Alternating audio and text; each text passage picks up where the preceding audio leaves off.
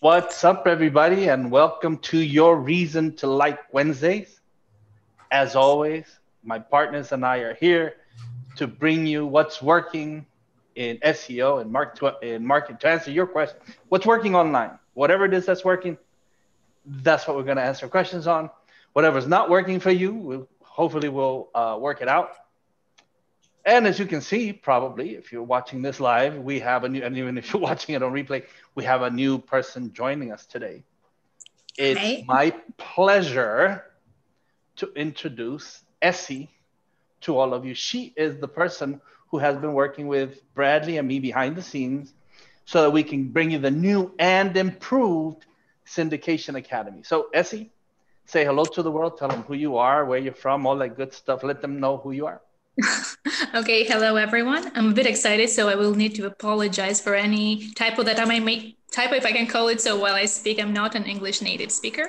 Uh, I've been working with um, Syndication Academy 3.0 that will be released hopefully soon, actually later than we thought it would in the beginning, but uh, it is taking a bit longer. However, it will be soon uh, available.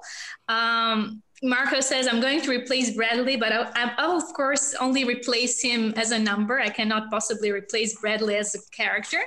Uh, so to introduce myself a little bit, I am a 28 year old uh, Albanian girl. Well, 28 in two days, actually. And uh, I'm really new in this all SEO thing my name is Essie, but I'm, I do not know much about it. I'm, I'm starting, I'm learning, I've been learning the, uh, for the couple three months I've been working with it. And uh, in a way, uh, it will probably be relatable to you since what I'm learning is new for me as well. So I will try to explain it in the way that I understand it. So you will be able to understand it even better uh, than you would from a professional person like Bradley, uh, because he knows uh, all the terminology, while for a beginner, it might be a bit uh, difficult. So um, I really hope you guys will enjoy the final uh, uh, result results. well, happy birthday. thank you. In two days, actually. Yeah. Happy early birthday and thank you, thank you for all your hard work. I know you've been hard at work. People don't see what you're doing, but you know we, we, we keep track. We see what you're doing. We're trying to help you out, and I'm glad you mentioned that because the reason why we went and got you is because you had no idea what SEO was, and so you no listen. If you can go through the training, apply it, and show people how it works and make it work, then there's no reason why anyone else can't take the same training and do exactly what you did. So thank you. And just hang out in case anybody has, has any questions or whatever, or just hang out with us for, for the rest of the hour. You're welcome to stay. And as I see you on my screen from left to right, I'm going to go th- uh, through the rest of my partners. Let them say hello. Chris, what's up, man? Hey, hey, doing good here. Um, yeah, excited for all the Black Friday stuff that is upcoming, but I'm pretty sure we'll talk about it in a bit. So yeah. Thanks, man. Bradley, man, I see you next. What's up? Uh, yeah, I'm I'm good. It's you know Thanksgiving tomorrow. I'm looking forward to that. It's like my favorite holiday because the food is amazing, and uh, I've got we always kind of get together with family. I'm uh, a big my my my sister and her in-laws uh, or my in-laws i should say um, we always go out to their house and they have some huge spread and it's it's amazing so i'm really looking forward to that but uh, just a quick note SE SEO. I could see that being a brand. SE SEO. yeah, you so, probably change the name now that I'm in. Yeah, that's uh that's interesting. It just kind of worked out that way. So anyways, glad to have you. Uh welcome to Thank our uh hump day hangouts and look forward to um, seeing what the syndication academy update version three looks like when it comes out. So, you know, I'll be working closely with you over the next several weeks or a couple of months really, or whatever to get it, um, get it finalized. But, um, so far it's been good. Thank, so thank you so much. And then I see that somebody let Hernan back in. Yeah, man. Up, man? you guys shouldn't. You guys shouldn't. What's happening, everybody? Thank you, Marco, for seeing Thank you, Essie, for being here. It's excited to have you on the team. Thank you, everybody yeah. that's watching this live and everyone that's watching the recording as well. And uh, yeah, excited for what's coming up for Black Friday. So really excited to see how that comes out. So that I mean, I'm glad you mentioned that because anyone who's on our list already has Black Black uh, Black Friday available, And so they got an early start on the holiday. So guys, if you're on our list, check for that mail, check your spam, make sure it didn't go in there, make sure you got us whitelisted in case you got another email coming because we're gonna have goodies all through the weekend and on Monday, maybe extended a little bit more. It, it, it depends. You know, you know how we do the do guys. And as you can see, I'm still Groundhog Day. I can't help it, man. I it, like It's the volcano. it's the price I pay for the life I live. What can I say, man? I, yeah, somebody's got to do it. Somebody's got to do it. And so, with that, guys, let's go to the questions, Bradley. Okay, cool. Uh, let me grab the screen. Stand by one moment. We got it. All right, y'all are seeing my screen, correct? Yep, we're good. All right. Not a whole lot of questions, but it is the day before Thanksgiving, so I'm not surprised. Uh, if we get done with questions early, guys, we'll just wrap it up early. Um, I'm sure everybody's looking forward to. Apparently, the night before Thanksgiving is one of the biggest drinking days in the U.S. so I can imagine how much people are going to go get hammered anyway. So, anyway, starting with uh, Ivan, he says, "Hi SM crew. When it comes to boosting properties." like the MGYB short links, along with the G site organization PR page and other citations and assets, is there such a thing as too many links? My thought was that if everyone is building tiered links, it will devalue the sites over time. Uh, Marco, I think that's a great one for you. What do you think? Is there so such a thing as too many links? We're about to find out. I, I built software, and I, I just broke it today at, at creating one uh, one plus 300, 316 zeros links.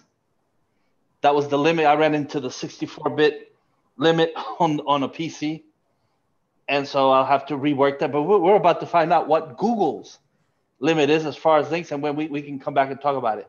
From what I'm seeing, and we've done, of course, you know about the million link test on, on DC Plumber. And then you know how Keith Mallinson earlier this year came in and he mentioned his test, his million link test. Then uh, I ran another million link test, and then Rob came in with, with 10 million. Like, and we're, we're talking pure spam, right? Yeah. It's any type of link building that you do is is spam because you're not supposed to be building links. And it just seems that the more you give Google, the merrier. Here's here's what I found: when Google tells you not to do something, you have to go find out why. They tell you don't don't do this, so so you got to go. Why are they telling me not to spam? And then you come to find out because it works really well. Now the whole point is don't get caught, because if you get caught, you, you get smacked down. So if, if link building works, then it stands to reason, by logic, if we do more of those links that work, then it's going to work even better. What the threshold is would be, for example, if you start out ranking a website like Amazon for the keyword Amazon, they're going to come and bitch and moan, and they're going to come and look at why you're outranking um, Amazon for the keyword Amazon, and then that's that's your problem. But as far as I know, and as far as I understand how it all works, building links is alive and well. Tiered link building works even better. It's, it works phenomenally well. iframes plus link building is killing it. So the, the, the keyword in all of that is link building. Now, Ivan, take that with, with, with a grain of salt. I'm not saying for you to go out and order 100 million GSA links from Fiverr. Because if you aim those straight at your website, you're going to kill yourself. You're going to choke yourself off. It's just totally unnatural for your website to receive those. What we do is we filter them. And we don't, like, people get really anal about, about indexing. Like, we don't care. If we, if we do 10 million links, we know that a portion of those are going to index naturally another portion of those are going to get indexed by Dedia, and another portion will just end up in, in whatever digital space things end up in. We don't care. We know what the effect is going to be, not only of those, but the ones that we build up behind those over time. I, here's, here's my thought. Yes, everyone is building tiered things for a reason, and they're working for a reason. What we're doing is we build PageRank into the ranking score algorithm, and then it's the art of art that takes over activity, relevance, trust, and authority that makes everything work. Absent any of these things, And you could have problems if you incur a manual. But when you look at your little dinky website, in the website, and I say dinky, you could be making a couple of million, which is nothing on the web. And nobody's going to pay attention to you. It, unless, you know, just it's just one of those random things where it pops up and you get on the list of people to be looked at manually. But think of the millions of websites that are on that list for manuals to, to, to get a, a, look at by a person so that they can tell what it is that you're doing. If, if you're good enough at hiding shit, if you're good enough at filtering, it won't go past that. It won't go, oh, I don't see anything wrong here. The guy just did what he's supposed to be doing. More power to you. Bradley, in all honesty, I don't see any issues with link building right now unless you get caught link building. Yeah.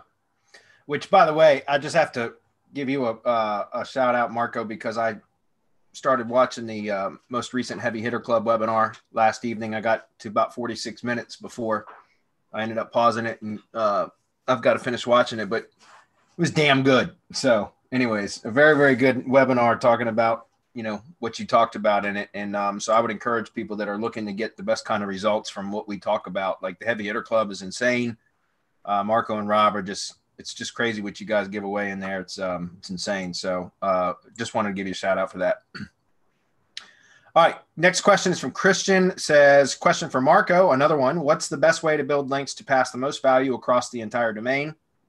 Read somewhere about link building to the xml sitemap but this seems unnatural yeah, and I wouldn't recommend that either because link building in the XML sitemap is directly linking to your domain. Um, I mean, if you're, I wouldn't, we wouldn't recommend that. I know I wouldn't, but this seems a natural. Would love any opinions on this. Thanks. So, Marco, what do you say on that? It can have great effect because you're building links directly to all of the links on your website. The problem is that you're building links directly to your website and to right. all of the links on your website. What we would do is we would take that XML sitemap and iframe it on a G site, of course, and link build to, to the G site. You know, that's something I've never Problem done. solved. I've never done that. I framed a, a sitemap. Yeah. I'll be damned. Can't believe oh, am I giving too much away? Huh. Shh. I didn't say that. I might have to test that. I've, never, I hadn't even never, thought to do that, man. never mind. But yeah, dude, we do everything through the Power Shield. Everything that we do is done through the SEO PowerShield. And so why wouldn't we go and put that on the shield, hmm. right? So now we're shielding ourselves up from incurring a penalty because it's an iframe. Iframes don't pass penalties. And then you bang it. you know, get dead yet. Uh, that just set a, set a bunch of thoughts off in my head. I know. But, I know. Uh, there's category sitemaps, post sitemaps, tag sitemaps. There's video sitemaps, image image sitemaps. There's all kinds of stuff you could do with those if you can iframe sitemaps, and I never even thought about that. That's insane. It's, not it. Too much. Keep it a secret. Don't tell anyone, yeah. right? Don't tell anyone publicly. Abdul's up next. For those starting an SEO agency, what are some good tips to get consistent leads? Tried LinkedIn and some video audits with zero success so far, along with Upwork. Uh, I would recommend video email, um, video lead gen system. There's a few different ways that, like, our, our product called Video Lead Gen System is a method that I've used to land clients. Uh, I started, I really developed the first version of it that I used for many years, uh, way back in 2012. Um, that was very time intensive. It was very effective. I was getting consistently a 35% response rate on cold emails, um, but it was very slow. So, in other words, like I would, I would always do them video emails in batches of 10. And I would get on every single time I would do a, a, a prospecting campaign with a batch of 10 video emails that were customized for each recipient. I would get either three or four responses right? And out of those three or four, I would typically close at least one, but sometimes two, uh, two of those responses into some sort of retainer model or lead generation. Uh, you know, they would become lead buyers or whatever it was that I was I was approaching them for. So that's why I say 35% because every time I did 10, it would either be three or four responses. Um, about two years ago, I updated video lead gen system to make it more to, to and basically added another module that talks about how to streamline the process a lot better. um, to make it way more efficient. And you can use a VA for a lot of it to where you can just record, you know, what's called a common uh, a common section or common video like like there's going to be a, a, big portion of the video is going to be common to all of the recipients and it's just the intro that is unique to each recipient so the intro can be very short like 90 seconds or less so that therefore you can literally record a whole bunch of intros to unique to each recipient in very very short period of time and then have a va do all the other work the splicing of the intro to the common video and then even do the emailing and everything else. And all of that process is taught in video lead gen system. Um, more recently, the POFU Live 2020, uh, our, so our live event, POFU Live 2020, so our live event from this year, I did a um, another prospecting training on setting up what I call a prospecting machine. It's using the high level platform. It's freaking fabulous. Um, I've been able to use cold emails, not even video emails, but just straight cold emails and get a 30% response rate, which is insane for cold prospecting. Um, and it, it works really, really well. And I taught that specific method, including all the process docs on how to build that out in high level and everything, is part of my POFU Live presentation, which is available in the POFU Live 2020 recordings. So those are the two products that I would recommend uh, that you uh, check out because that's exactly how I prospect. And I do a lot of prospecting.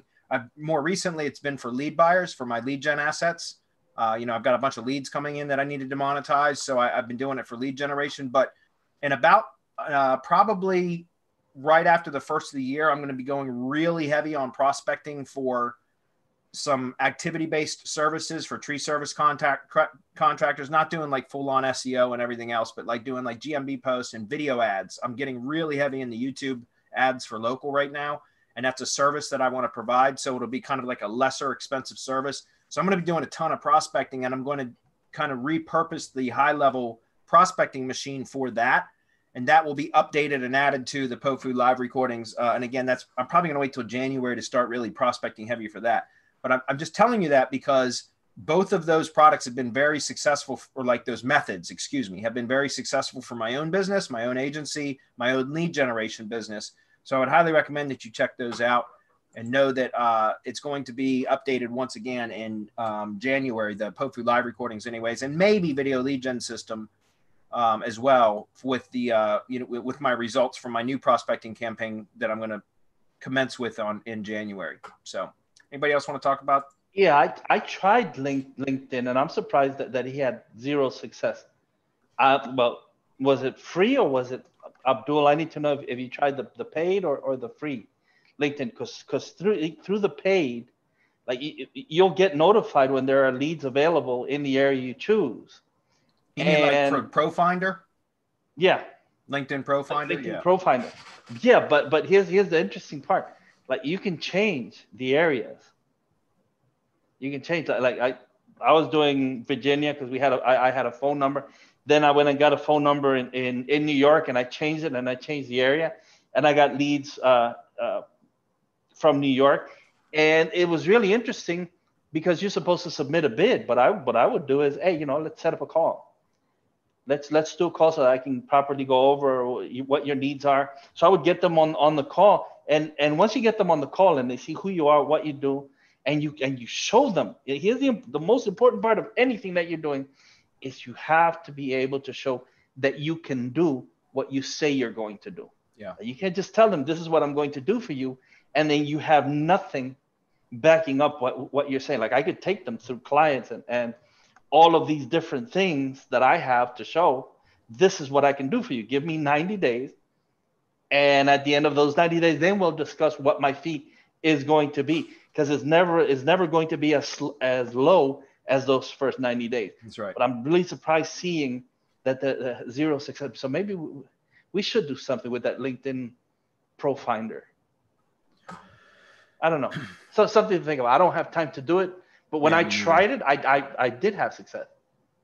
So that's just a couple other things came to mind as Marco was talking, and um, you know, there's the old tried and true method of going to like local meetups, um, lead share groups, that kind of stuff. You can go to meetup.com and I mean, I'm assuming if, if you're in the US, you can go to meetup.com and you can probably find local lead sharing groups, uh, your chamber of commerce, uh, local chamber of commerce, like that, that in-person networking, it works. Uh, you can get local clients that way.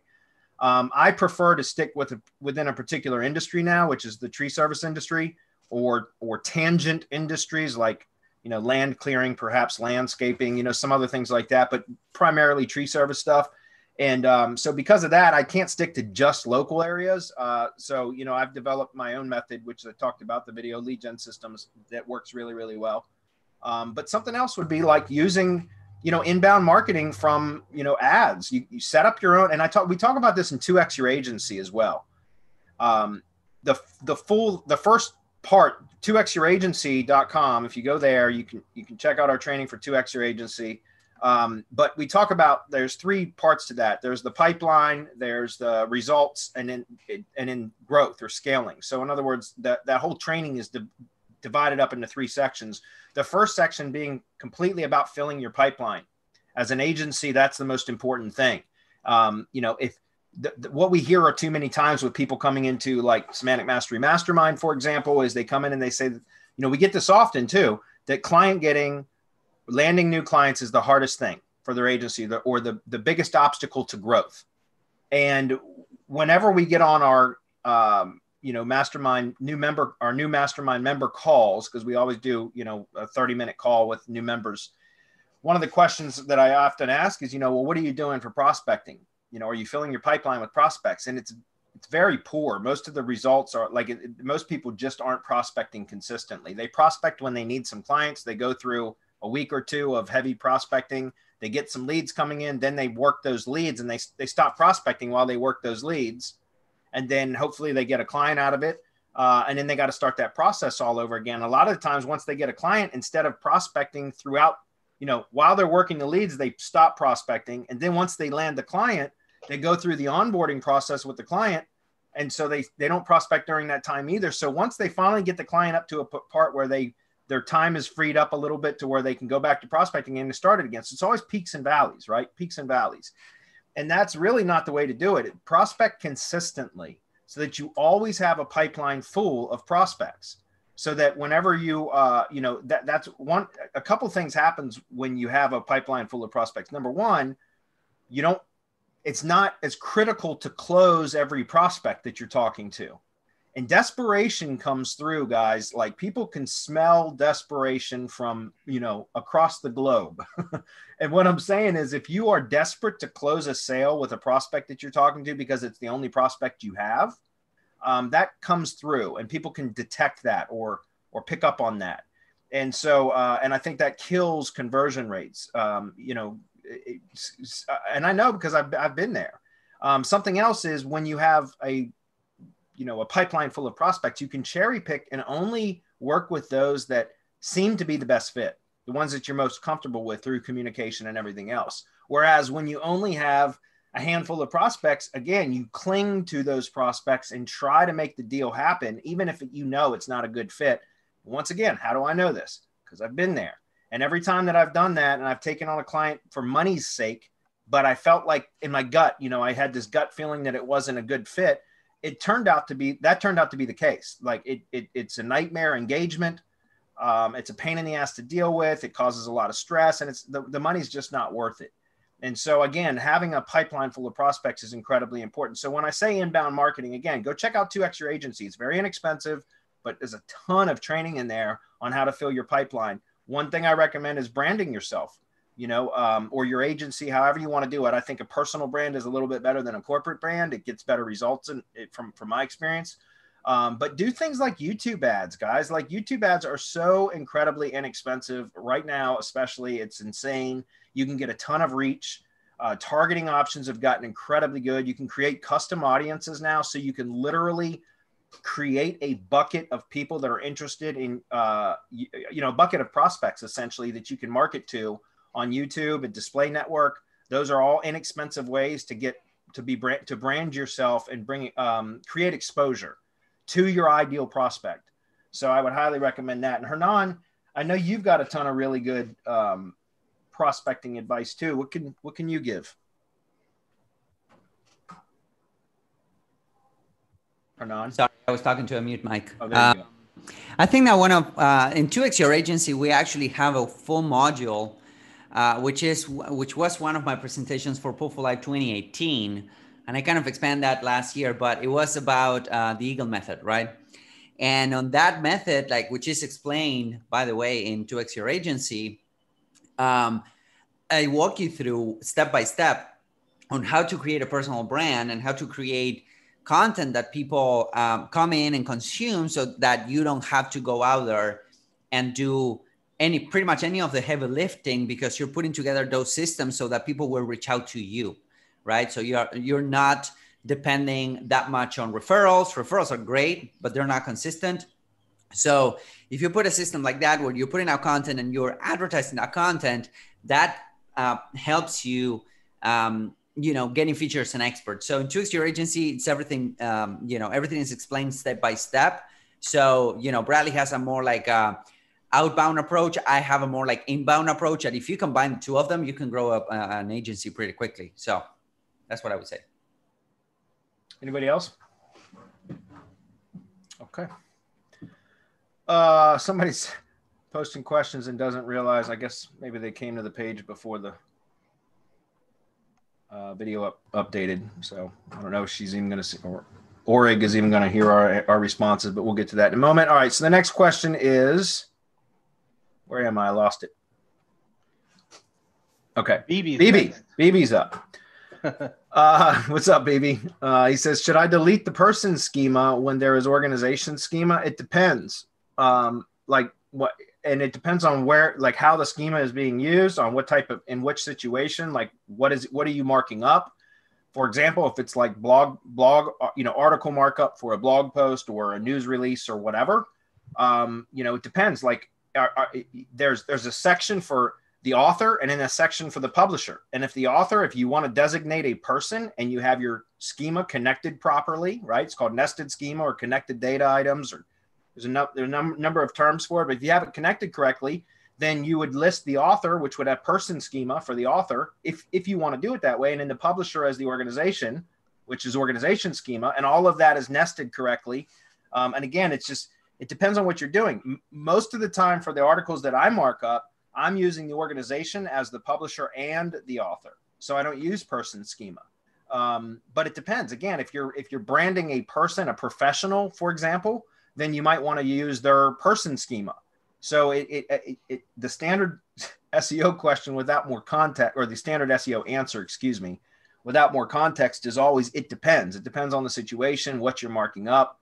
Um, I know BB from your question last week. If you're not connecting the schema correctly, then you can ambiguate the main entity of the page to begin with. So you got to be real careful about, you know, if you're using schema and you're marking things up, that you do it in the proper way. Um, having different, you know, different schema types on a page, but not nested correctly or connected properly, um, can actually create issues, right?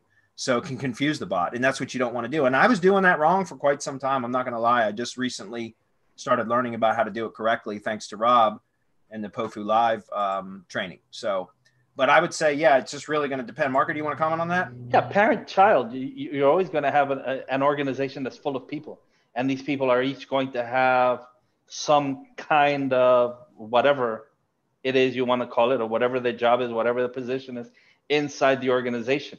And if that's the case, and if you want to, I mean, go go into that much detail, you can. So so you should have person schema within the organization schema. What is their job? What is their function within the organization schema that you're building? And if if there's no place for a person to be used within that organization schema, then don't try to push that in just because you want a person schema within the organization schema. So as Bradley said, it depends on what function that person has within the organization, or I'll say again, the parent child relationship. And then if it's on a page, what that person's relationship to that page is within also the organization. That's it. So question number two is how to convince someone that does paid ads, Gmail, YouTube, search ads, and little content marketing and backlinks to add a new source of some site and get the leads through a new source. Yeah, I, I get the question. Okay. What he's saying. Can you So he- interpret it? Yeah, yeah. He, all right, so he knows someone that's doing ads. He wants to tell this person, hey, look, there's another way for you to get leads other than what you're doing. Th- This new source, this this online marketing thing where you can go get organic and you can get into maps, you can get leads that way. He wants to know how do I convince this person who only does ads to try something else. Yeah, it looks like he's also talking about if you provide if you have leads that you can sell to somebody that's already doing ads too. I think that's the way I'm interpreting it as well. Um, hey, that's a great.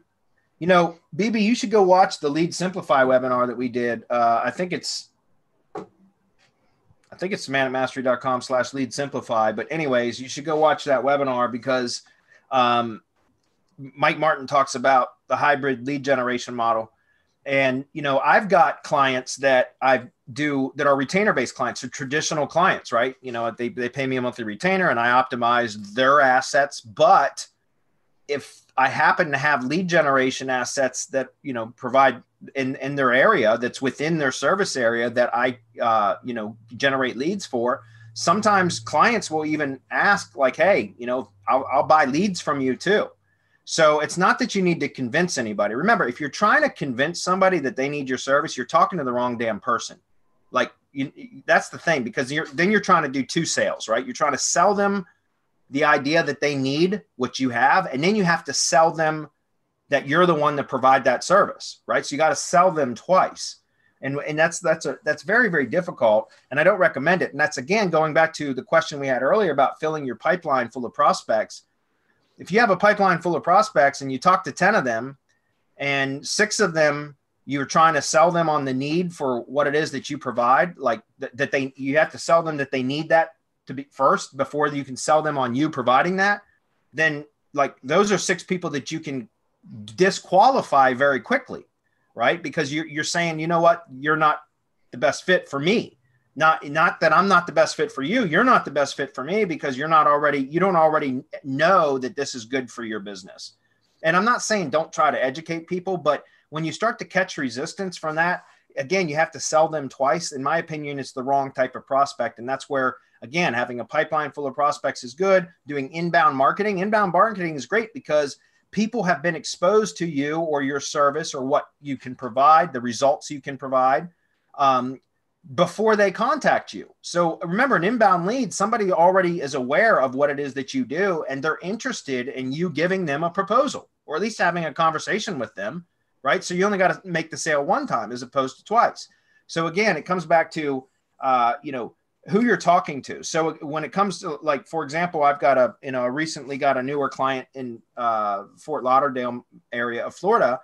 And in our initial conversation when we were you know during the proposal process right when i was prospect when they were just a prospect and we were you know i was talking with them uh, we did the discovery call like i always do all this is covered in 2x your a uh, 2x your agency um, but i did a discovery call with them and and, and during that discovery call I, I mentioned to them by the way i also do tree service lead generation if you're interested I, while i'm working on developing your assets and your brand building your presence online, I could also build some lead gen assets in your area that will be generically branded. Uh, but the leads that come in, I can sell to you. And they said, yeah, that would be great. So they were interested in both a retainer and a lead generation business model, like a hybrid of the two. And so that's why I'm saying, you know, again, it, some people are going to be really open to that, or some business owners are going to be really open to that, and some aren't. And the ones that aren't, just don't bother. Don't waste your time. Go find some that are. Does that make sense? Yeah, I, I see two things here, and and I always like like to talk about like like my personal experience on on things like this, because I talked to someone not not too long ago, who was doing about 50 million a year, on ads, ad spend, right? So it's a little bit over four million a month, and the guy was convinced that there was no other way to make money online than to do ads, because he was getting a three to one return on you can imagine how much he's doing a year, right? If he's getting a three to one wow. return on what he's doing, so he's he's making about a hundred million. And so, when you get a person like that, and they want to talk to you, but they're convinced that they're already doing what they're supposed to be doing, like but Bradley does it. I have to if I talk to him, I have to convince him that there that there's another way. So so first I have to convince him that there's another way. Then I have to convince him or show him that my way works. And I have to be able to show him how my way works. So, so you get into a, a, multiple step thing where any step of the way you're going to run into a whole bunch of objections. The conversation gets heavy and it doesn't make sense because at the end, he's still going to be convinced that he's doing it the right way and that your way might not work no matter how much you show him. Eh, the, you have to find someone who's open to the idea first and foremost, who isn't already convinced that they're doing it and that there's no other way. And then this goes back to what I was saying before. It all depends on whether you're able to show the results that you can get. You, look, man, you get in, you get me in front of anyone, any, and I mean anyone, and nine out of ten, I'm gonna close that person because I can take them through a whole lot of shit that I've done, and and and and I'm gonna give them a 90 day out. So there's really no reason to say no unless they were already looking to say no because they're at least going to take that 90 day out. Look, 90 days. At the end of the, those 90 days, we'll see.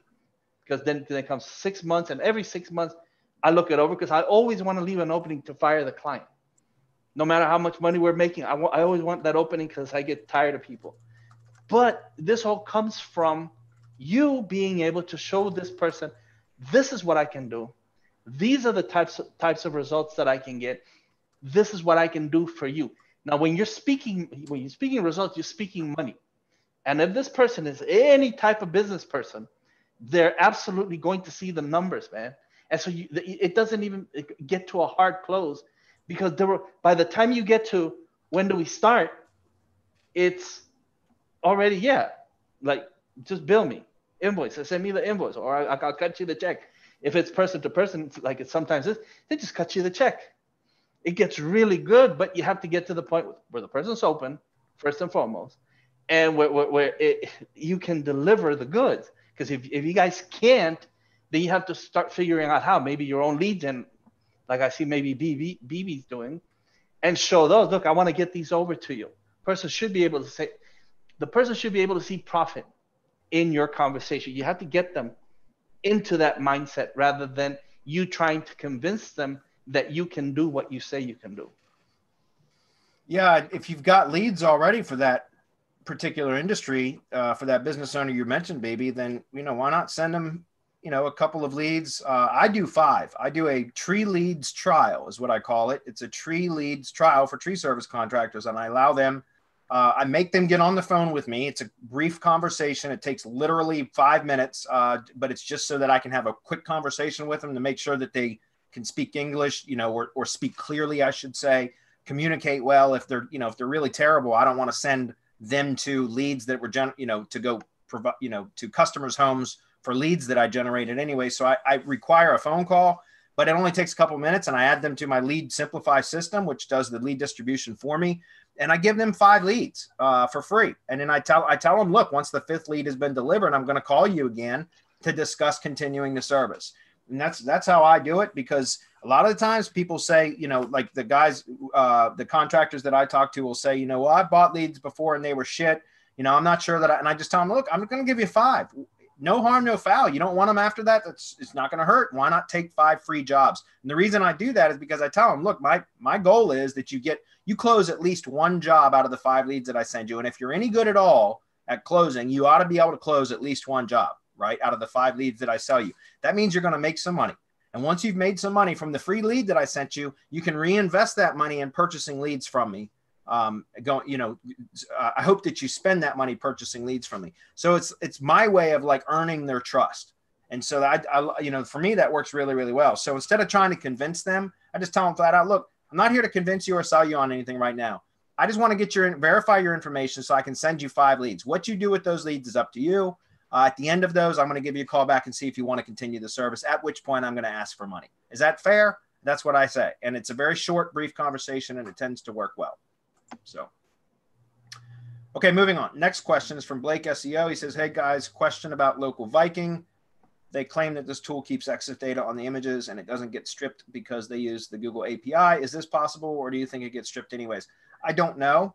Um, I can't speak for local Viking or really what Google does. Um, you know, people say that it strips the EXIF data when you upload a video or a uh, or an image or a video to Google My Business anyway. Um, you know when when you if you upload an image with EXIF data to, to Google My Business and then you once it's uploaded you go download it from Google. Yes, the EXIF data has been stripped. But does that mean that Google didn't see that EXIF data when you uploaded the video? Does that does that make sense? So I, I don't I don't know whether the Google API strips it or not. Maybe Marco does, but in my opinion, does it really matter if if when you upload the video that data gets, you know, Google sees that data when the image gets uploaded originally. Um, what do you say, Marco? Well, first and foremost, what I recommend is local images. Forget the spoofing. I mean, don't, forget it. Let, let me just say this: nothing works better than when you take the image at the location, around the location, around the geographical area, around the, the, the, centroid of the business, uh, extending out about 10 miles, 10, 20, you can extend to 20.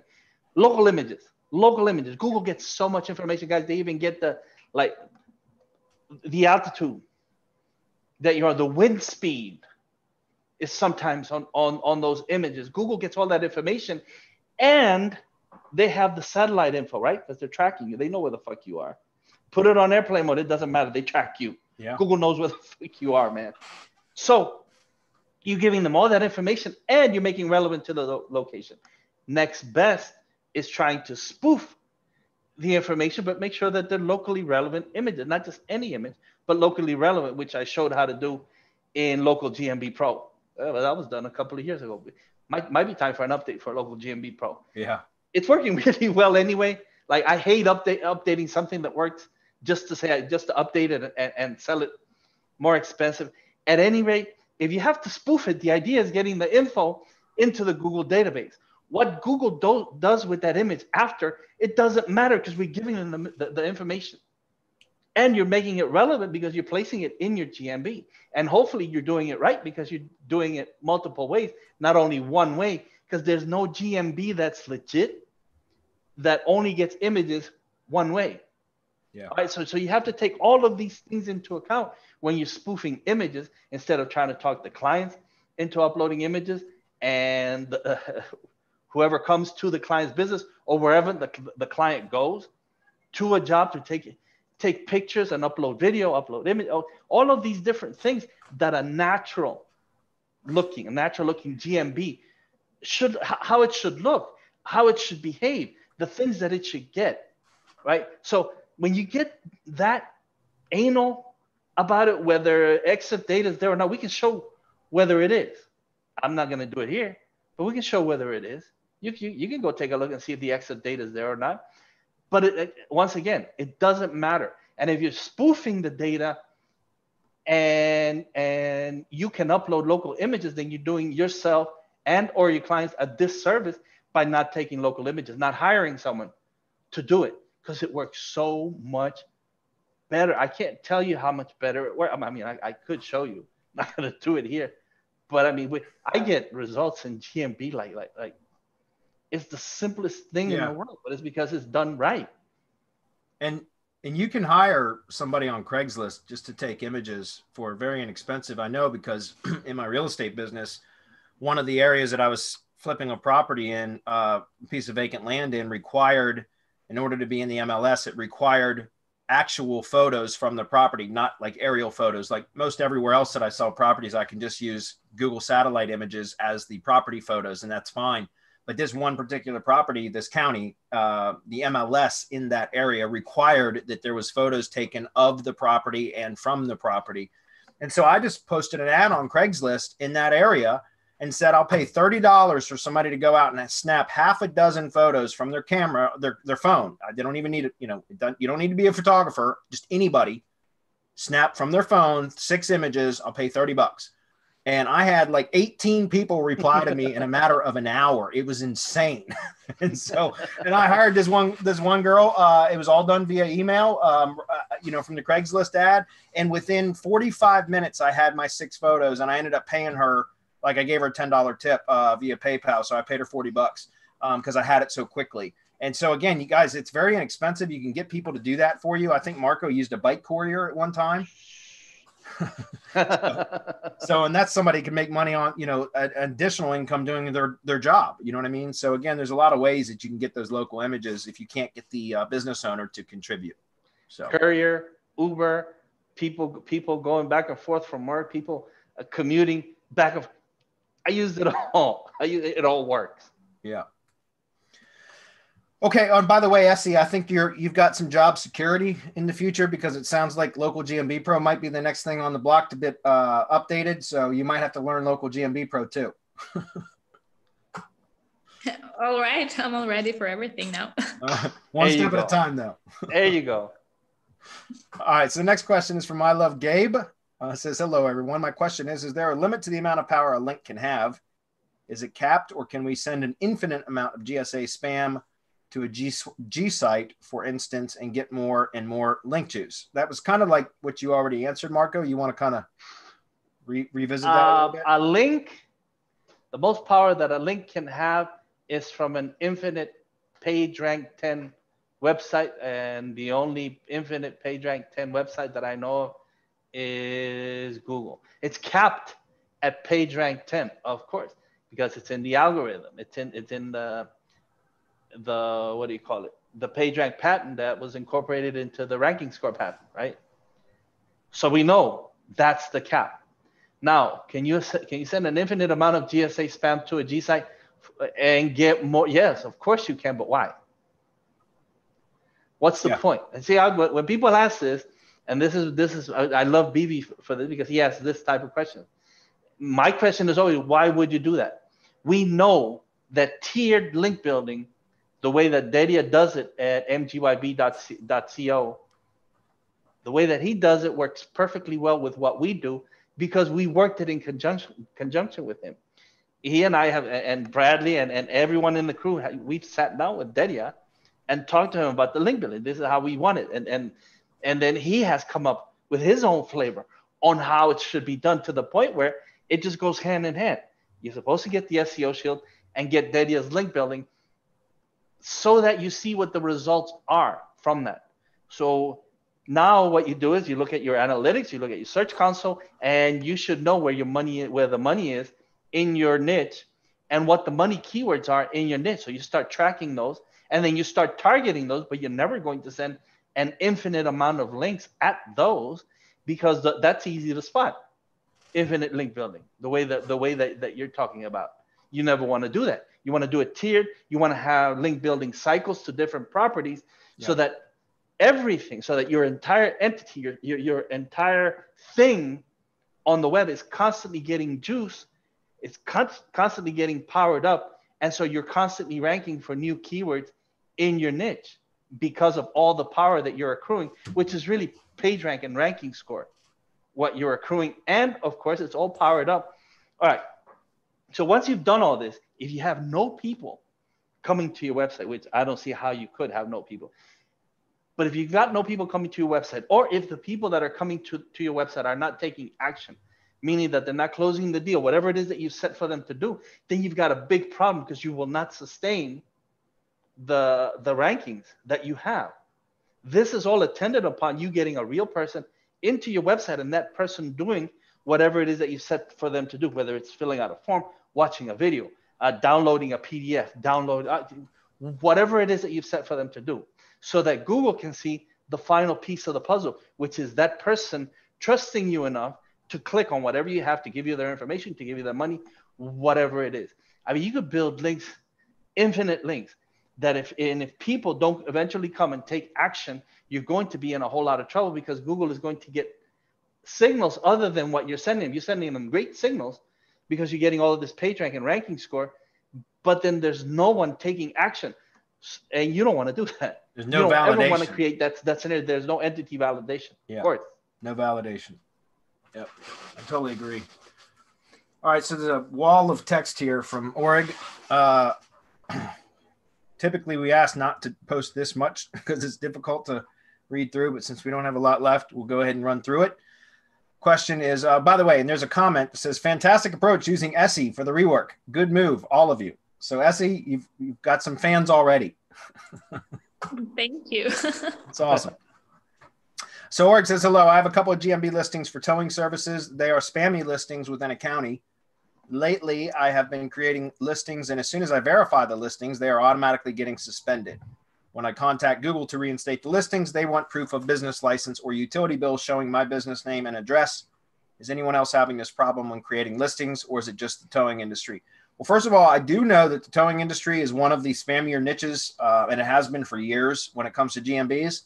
So that was already a sensitive industry for GMB suspensions.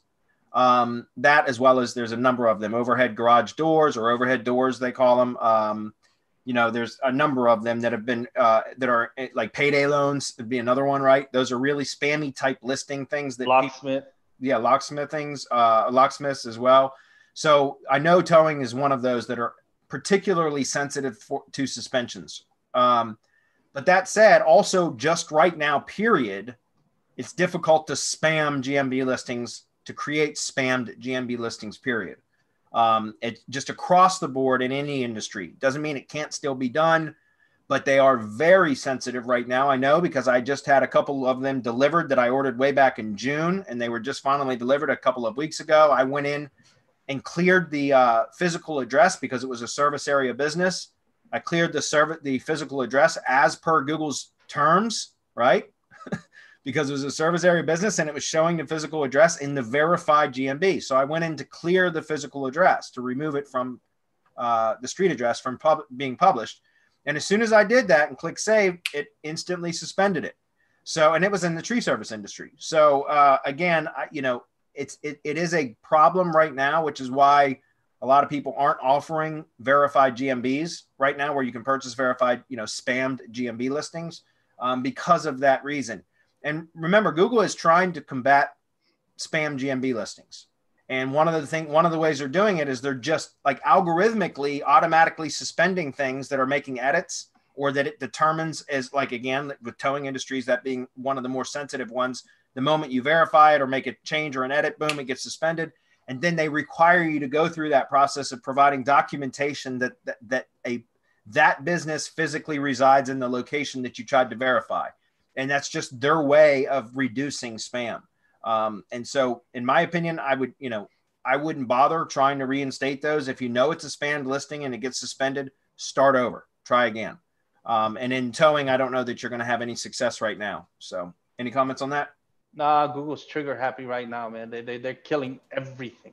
Yep. everything they can. You stick your head out, you're liable to get shot. I always tell people, right? Someone's got an AK 47 and they're firing the thing to do is never let's look and see who's shooting. Yeah. You're gonna get shot. The thing, duck, duck, man, duck, and and, and and don't stick your head. It doesn't matter who's shooting. Somebody's shooting, man. That's that, that's the important thing. Oh, let me see who's shooting. Boom, right? You get it between the eyes. That's what's happening right now. You go change stuff, and sometimes it's just posting versus not posting for a while. That'll get you and then uh, uh, making changes and not making changes and then adding images not adding images. It's going really crazy right now. And of course their idea is anyone who doesn't have a real business isn't going to call us or if they do they can't provide the paperwork right.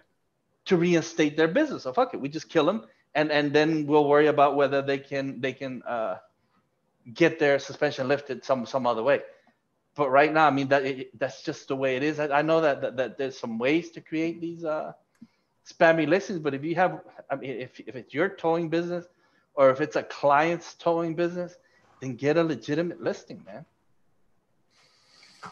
So the follow-up question is also with towing services, do you think I should build up every listing or should I focus on having a lot of listings in the county and hope that proximity does its thing? Okay. I know from experience that having too many GMBs in close proximity to each other will pigeon they'll, they'll, filter themselves out. They won't even appear in maps. It's not that they're they get de-indexed or suspended. They just won't show in maps. So there there's, there really is a there can be too many too close to each other that where they start to cancel each other out. Literally, Google will filter those out. Um, so I don't recommend that.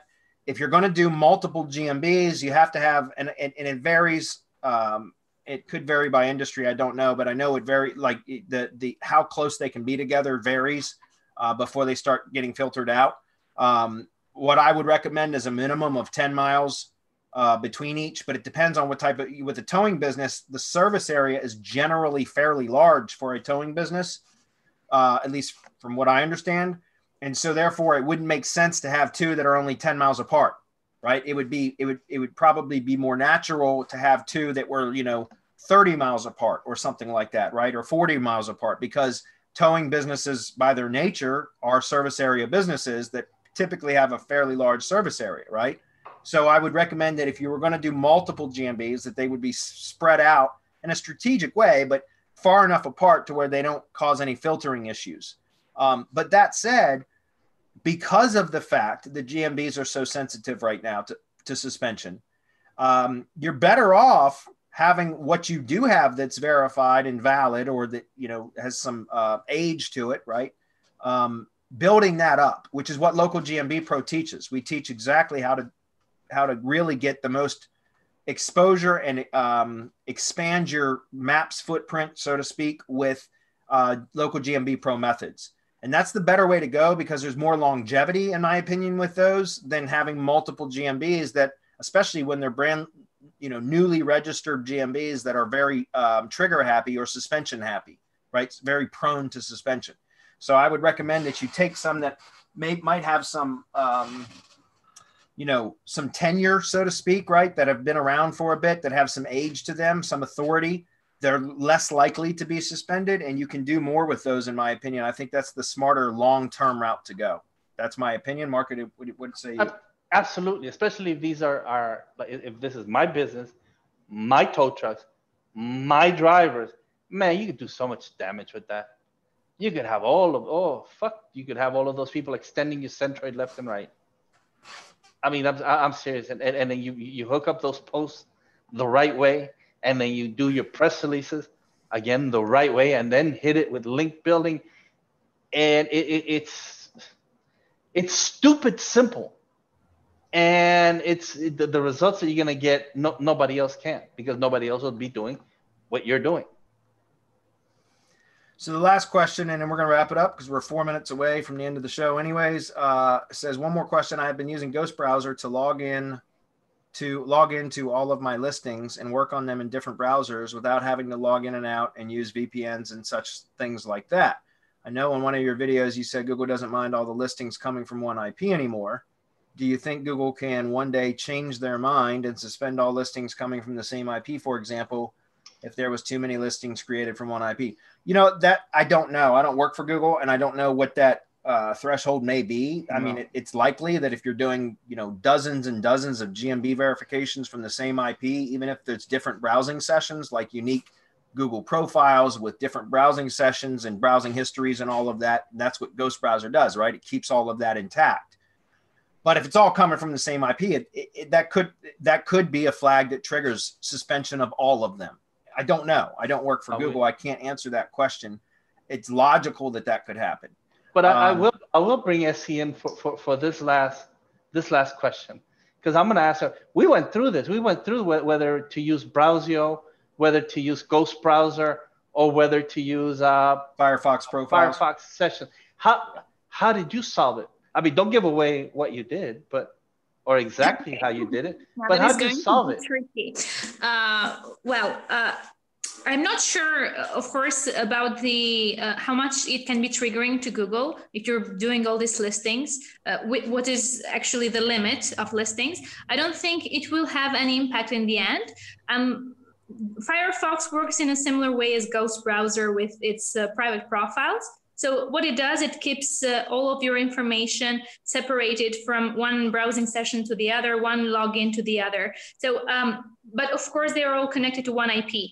We're not using proxies anymore, uh, which means that if it's going to trigger uh, some uh, negative uh, impact on Google, it, it will do it anyway. So on the terms of deciding if it's going to be Firefox or Ghost browser, in my opinion, it will end up being almost the same thing. For, for his question on in the end though i wouldn't actually be sure i think you guys would be uh, able to give a more certain answer on that of course but but my, my question was, was more you work with Firefox, but you're not using proxies, although you could use proxies. I'm not using.